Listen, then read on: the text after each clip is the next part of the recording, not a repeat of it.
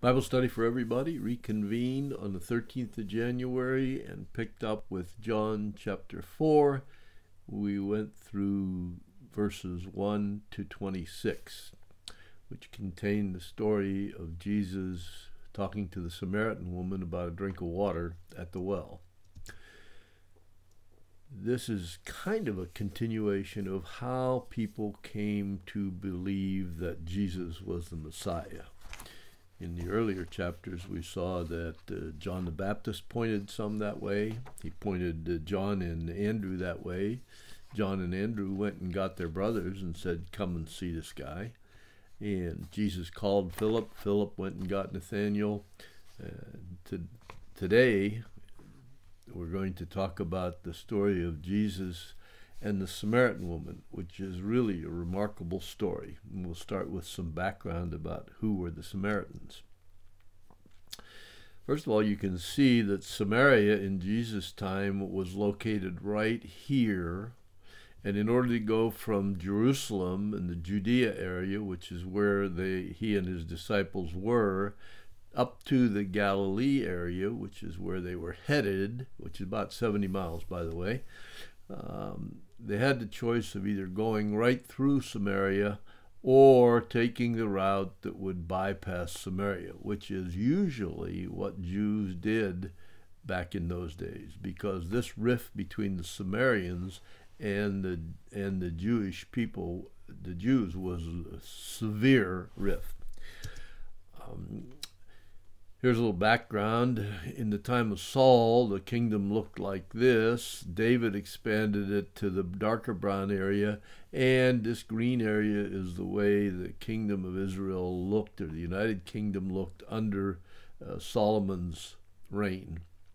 Following Solomon's reign, however, the kingdom split into two parts the southern kingdom, which was called Judea, or the kingdom of Judah, and the northern kingdom, which was the kingdom of Israel, uh, which was composed of 10 tribes, and uh, the southern kingdom was composed of two tribes. Um, here's quickly a map uh, of uh, Israel presently. Um, you can see that uh, here's Jerusalem, where they, the, Jesus and his disciples were. They wanted to go to the Galilean area, which is up here.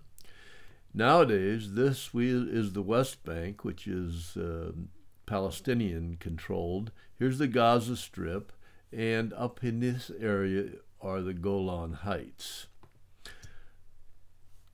In a modern map, where Jesus stopped at the well is called Nablus, or N-A-B-U-L-U-S on some maps.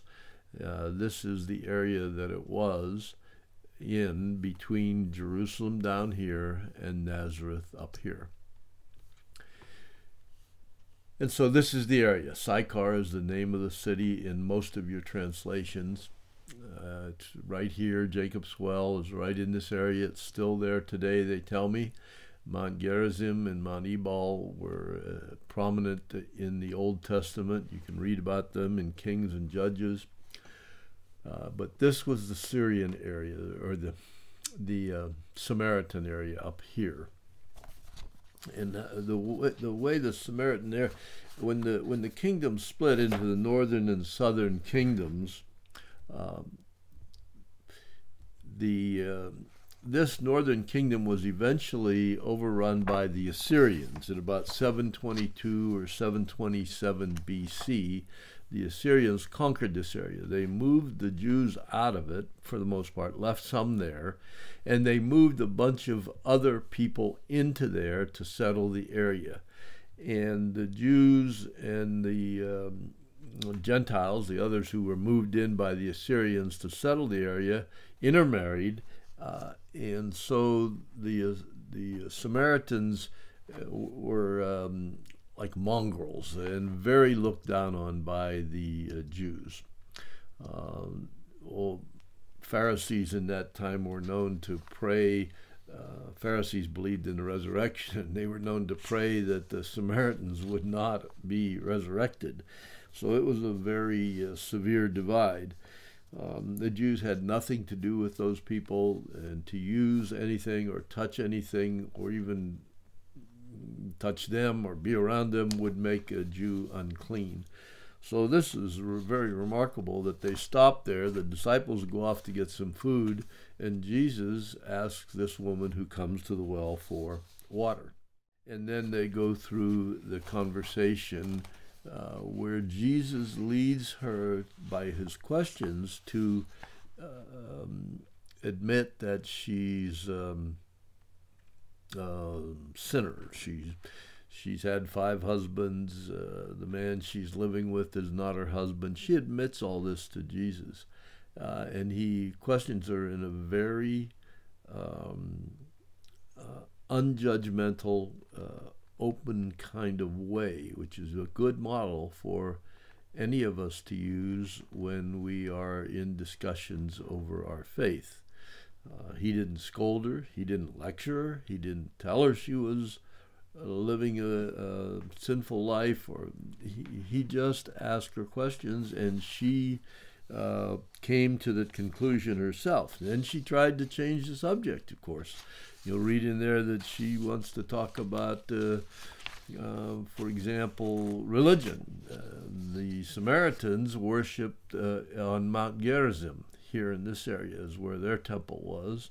The Jews, of course, had the temple done in Jerusalem. So when she says, You Jews say you should worship in Jerusalem, and we Samaritans say up here in Mount Gerizim, uh, and she's trying to divert the conversation from herself uh, and uh, her um, um, the, the life that she's been living. She's an outcast. She comes to the well at noon. She doesn't come in the morning when it's cool with all the other women. She doesn't come in the evening when it's cool with all the other women. She comes in the noonday heat by herself. Uh, she is an outcast. She is undoubtedly the the butt of jokes and a lot of gossip in, amongst the Samaritans and um, and and in the, if you look at the 26th verse of chapter 4 because uh, then she finally says that we this this well let me quote it to you exactly uh, she says, I know that the Messiah is coming, who is called the Christ. When he comes, he'll tell us all these things. Jesus says to her, I who speak to you am he. In other words, I am, I, the one speaking to you, am the Messiah. So if you've ever had somebody tell you that Jesus never claimed to be the Messiah, um, there you have a verse that you can use. Next week, we will pick up with um, uh, the rest of chapter 4, beginning on verse 27 and uh, see how Jesus continues to influence these people. We hope to see you there. God bless you.